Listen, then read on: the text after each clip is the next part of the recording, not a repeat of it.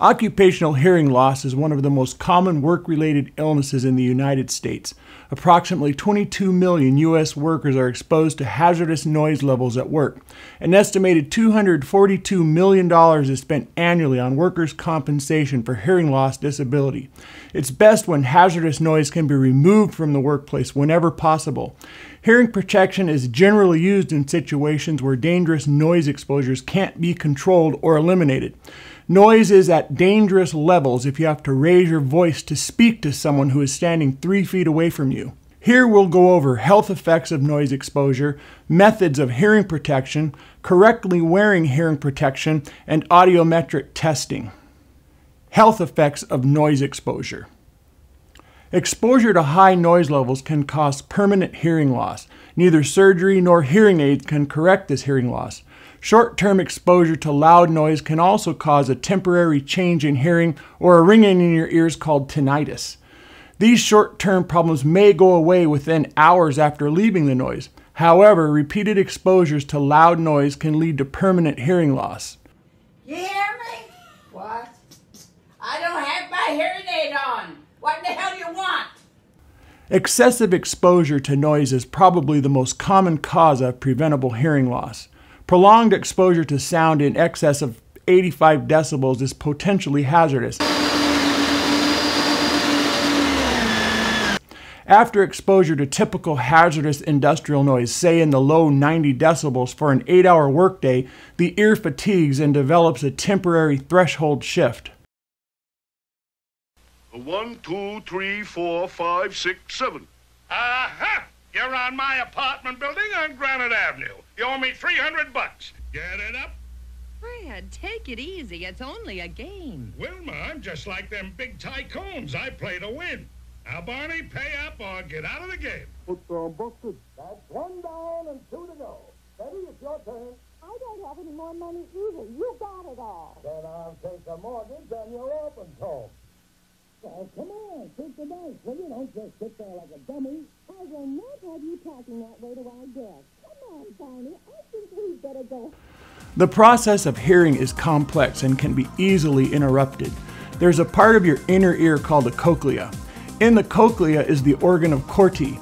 This organ contains hair cells which protrude from the surface and transmit sound vibrations to the brain through the auditory nerve.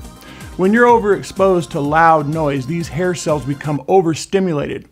Once the hair cells are overstimulated, they become paralyzed and stop responding to sound. After a period of quiet, the hair cells will recover. However, repeated exposure to noise over time will damage these hair cells and they lose their ability to recover. This results in permanent noise induced hearing loss. The hair cells of the cochlea on the left are those of a person with normal hearing, and the ones on the right show the permanent damage overexposure to noise can cause. If we use an example of seagrass moving with the action of waves in the ocean, we can illustrate the impact of excessive noise on the cochlea hair cells.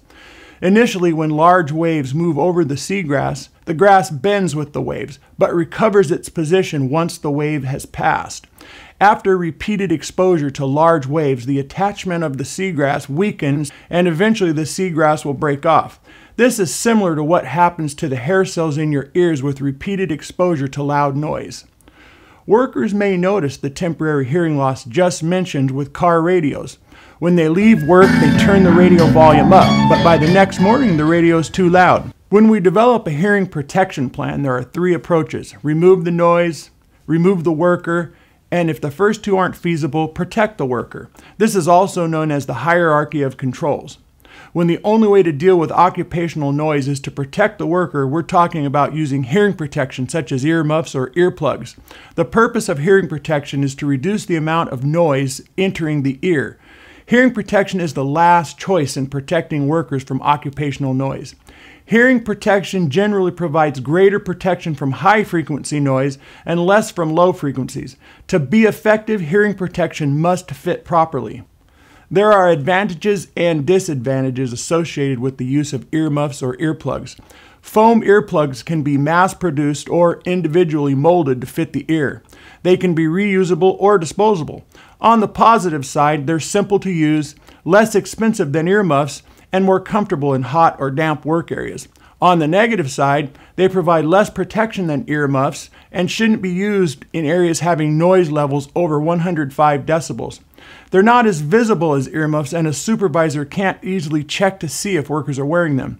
They must also be properly inserted to provide adequate protection. Earmuffs vary with respect to the material, the depth of the dome, and the force of the headband.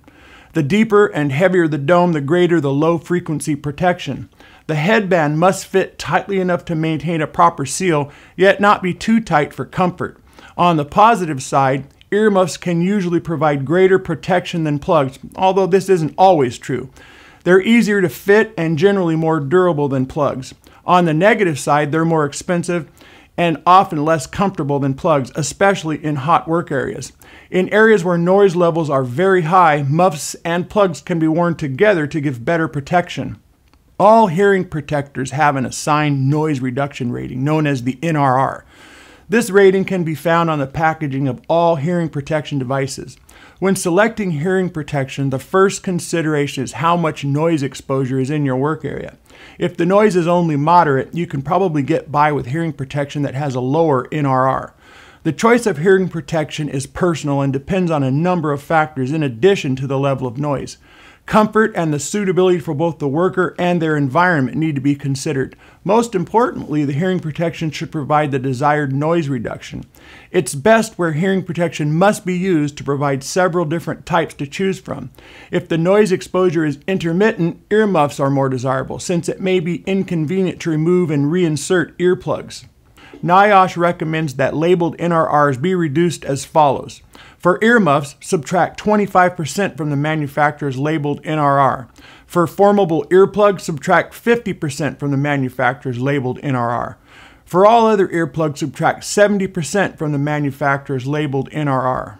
One of the main factors driving this reduction is that people often use hearing protection incorrectly.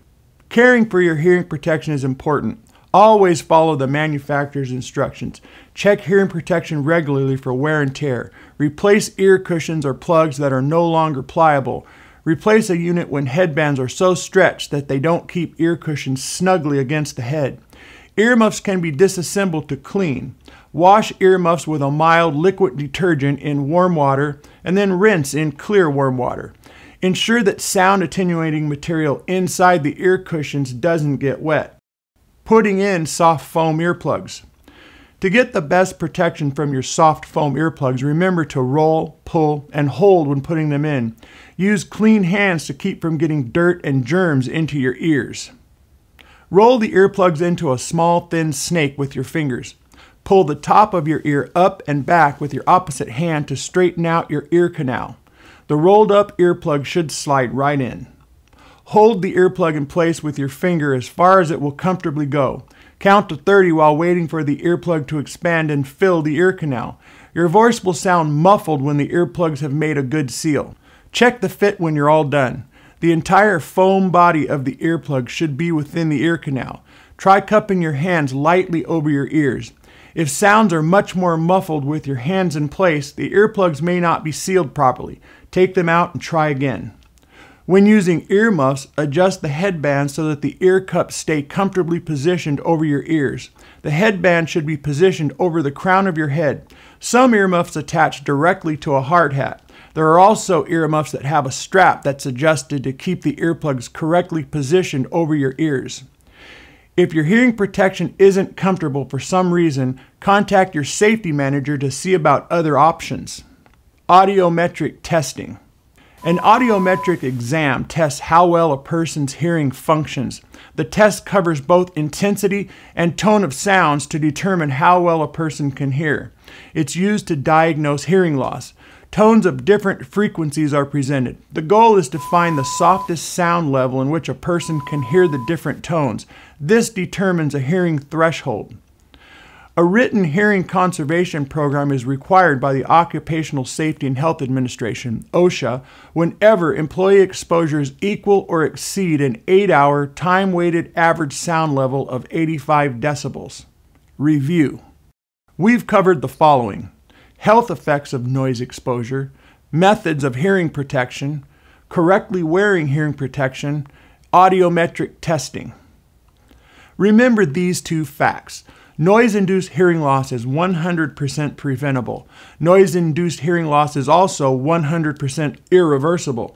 Do your part to protect yourself against work related hearing loss. Wear hearing protection if the noise in your work area is so loud that you have to raise your voice to talk to someone who is three feet away from you.